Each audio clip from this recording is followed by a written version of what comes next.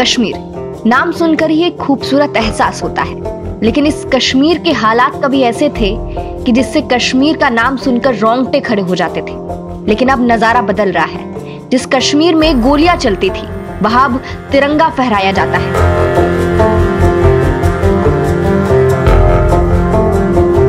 और लोग इस बात के गवाह है कि जब से मोदी सरकार आई है, तब से कश्मीर की तस्वीर बदल गई। पीएम मोदी जो चाहते थे, वो हो रहा है। कश्मीर बदल रहा है। लोग कहते हैं, पीएम मोदी ने भारत को उसका कश्मीर और कश्मीर को उसका हक दिलवाया है। जहाँ एक ऐसी ही खबर आई है, जिससे पता चलता है कि मोदी सरकार ने सच में कश्मीर की तस्वीर को बदल कर रख दिया है। चलिए, अब आपको पूरी खबर बताते हैं।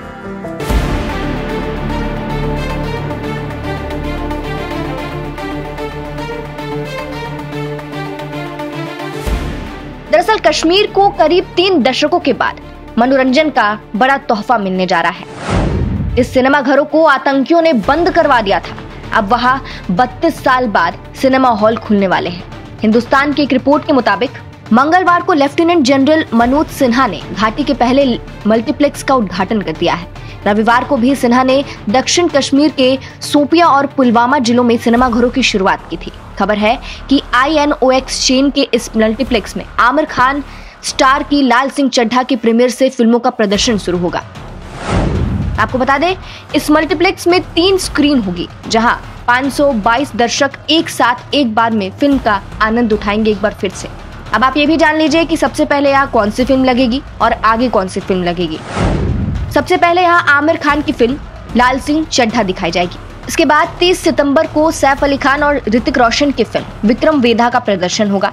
फ़िलहाल दिन में सुबह नौ बजे से लेकर शाम छह बजे के बीच तीन शो चलाने की योजना है। बाद में दर्शकों की संख्या को देखकर इसमें बदलाव किए जाएँगे। वही प्रोजेक्ट के चेयरमैन विजय धर ने कहा कि युवाओं को सिनेमा को लेकर वही सुविधाएँ मिलनी चाहिए, जो वे कश्मीर के बाहर हासिल करते हैं। उन्होंने कहा, हमने देखा है कि 30 सालों से यहाँ ऐसी कोई चीज़ नहीं हुई थी तो हमने सोचा, क्यों नहीं? फिर हमने शुरुआत की। युवाओं को सिनेमा में सुविधाएँ मिलनी चाहिए, जो उन्हें जम्मू या देश के दूसरे शहरों में मिलती है। हम जल्द ही जम्मू कश्मीर के हर ज़िले में ऐसे बहुउद्देश्य सिनेमा हॉल बनाएँगे।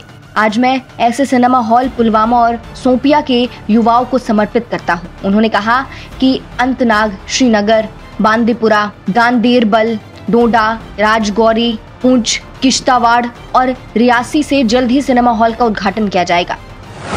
ये पूछे जाने पर कि क्या सरकार इससे कोई संदेश देना चाहती है? सिन्हा ने कहा, कोई संदेश नहीं है।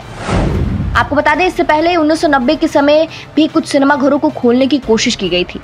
लेकिन आतंकियों ने इसे सफल नहीं होने दिया, जहाँ सितंबर 1999 में आतंकियों ने लाल चौक पर स्थित रीगल सिनेमा पर ग्रेनेड से हमला कर दिया था। कहा जाता है कि 80 के दशक तक भी घाटी में करीब एक दर्जन सिनेमा घर थे, लेकिन मालिकों को दहशत गर्दों की तरफ़ से मिली धमकियों की चलते इसे बंद कर दिया गया था।